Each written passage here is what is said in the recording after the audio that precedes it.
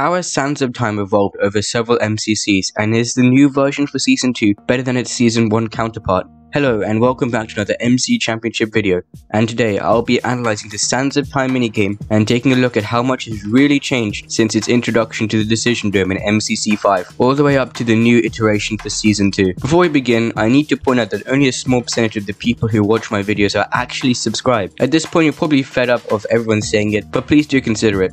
So let's start by taking a look at Sands of Time from Season 1, which feels like years ago, but it was only actually last year. The minigame was introduced in MCC 5, which took place on May 16th, 2020. Let me show you the update video from Noxcrew, the team behind MCC, before I dive into some analysis and provide my own opinions about this very exciting minigame. Sands of Time teams will separately delve into their very own copy of a dark and dangerous dungeon, full of threatening monsters and deceptive traps. The goal is simple. Find and collect as many coins as you can, then make it out alive. Now, to secure the coins you're carrying for your team, you must leave the dungeon to bank them, but after that, you won't be able to return. Choosing the right time to leave is imperative. This is because your time within the dungeon is determined by a physical sand timer located in your central hub room. If the timer ever runs out, you will be locked inside, along with your coins, forever. Fortunately for you, you'll be able to find plenty of sand scattered around to top up the sand timer with. Each sand block is worth 10 seconds, and you can fill the timer up to 2 minutes at a time. Unsurprisingly, death is ugly. Upon death, you will drop the coins you're carrying, any extra items you picked up, and you'll become entombed in the central hub room a teammate must come save you by paying the cost of one sand at your tomb's door. For those who wish to play it safe, a friendly but ominous sphinx located in the hub will allow you to permanently secure your coins without leaving. But in return for minimizing your risk, it will deduct a healthy fee for using it, meaning leaving the dungeon entirely is always the most lucrative option. The Sphinx will also close upon the timer's end. The dungeon itself is deep and maze-like, filled with many rewards and useful equipment. You'll find the largest amounts of coins hidden in treasure vaults, but each treasure vault requires a matching colored key to open, which you'll find laying around somewhere else. To help navigate and communicate with your teammates, each member of the team has a unique marker they can use to pave the dungeon with, each with a different symbol. And, as a cool fact, Sands of Time is powered by a custom dungeon generator, meaning every MC championship, the teams will be experiencing a completely different dungeon, cycling through a huge variety of different challenges. This game is a true test of teamwork and communication. Can your team make it out alive with the most coins, or will they stretch too far, fail miserably, and end with nothing?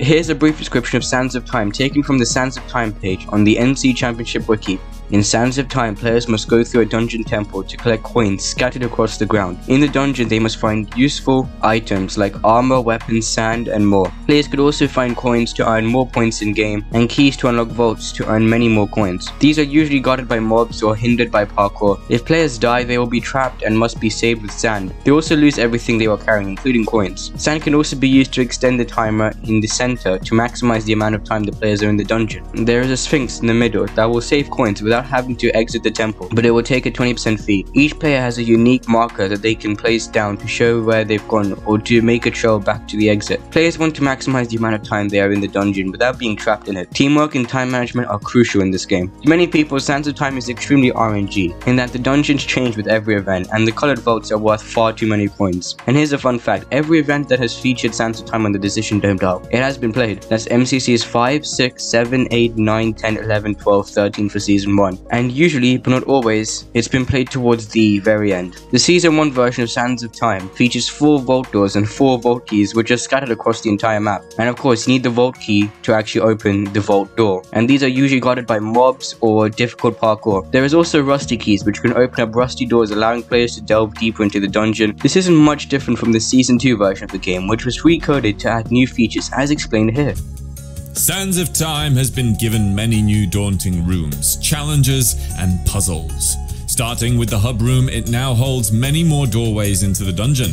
Some of these doors will take you deeper as normal, but some will take you straight to puzzle rooms, giving a potential Sandkeeper more activities to best. The dungeon has been populated with all sorts of new puzzles. In these puzzle rooms, you will usually find a lectern that can assist with a little insight on the challenge ahead. It's up to the players on whether they choose to notice these though. Cracked stone now fills the depths. While dungeoneering, keep your eyes peeled for cracked blocks, as mining them away with your pickaxe may lead to the discovery of new rooms and routes too. Oh, and because we're nice, we've plumped up some of these blocks with gold too. Nice. The dungeon's hunger for sand has heightened. Sand sacrifices are here.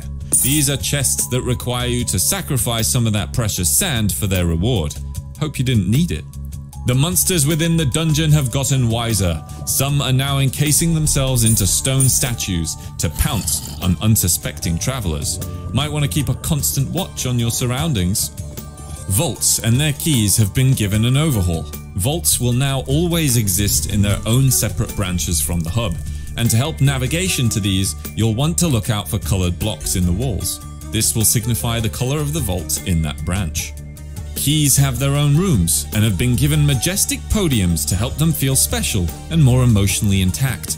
You'll always find the blue vault key underneath the timer and the red key in a connected puzzle room to the hub.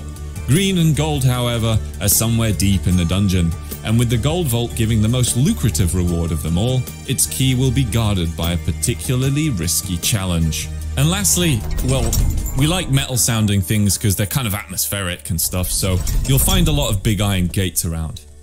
Alright, thank you, and please enjoy the return of Sands of Time. So as the MCC 15 update video explained, the new Sands of Time is just like its predecessor, but with new puzzles and the option to sacrifice sand in return for a generous supply of coins. Also, there are cracked blocks hidden in walls which players can break open to access new rooms or to obtain coins. Time for the final verdict. Do I prefer the old Sands of Time from Season 1 or the new adaptation for Season 2? While it's fair to say that the older version has been played more times than the newer one, and so I'm more familiar with the older one, the updated version introduced in MCC 15 brings about incredible concepts that I've always wanted to see, such as the mobs encased in stone who could pounce at the player at any moment. Let me know what you think of the new and the old Sands of Time in the comments below. I've been your host and I hope you enjoyed this video and found it informative and I'll catch you guys in the next MCC video. See ya!